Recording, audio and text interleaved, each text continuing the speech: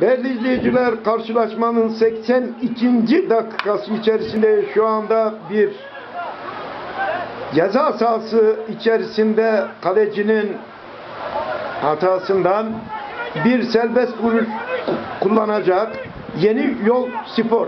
Değerli izleyiciler bu karşılaşmayı da size bir bölümden e, bilgilendirmek için sizlere bu maç hakkında şunları hatırlatmak isteyelim. Bu karşılaşma 0-0 eşitlikle bu dakikaya kadar sürdü.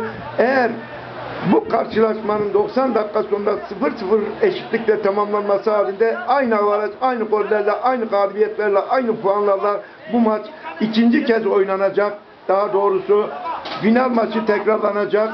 Böylece mutlak bu, o, her iki takım adına da bu maçtan galibiyetle ayrılmaları gerekiyor ve şu anda karşılaşmanın hakemi Emre Atasoy burada bir sarı kart var herhalde. Evet bir sarı kart var. Hacettepe Spor futbolcusuna sarı kartı gösterdi ve ceza sahasının içerisinde de şimdi baraj kuruldu ve birazdan atış yapılacak. Kaleci kalesinde dikkatli. Eğer bir gol atılır, atık gol olursa dakika 87 pardon düzeltiyorum 84 ve 0-0'lık eşitlik var atışın vurulması için yap, kararı verecek hakem.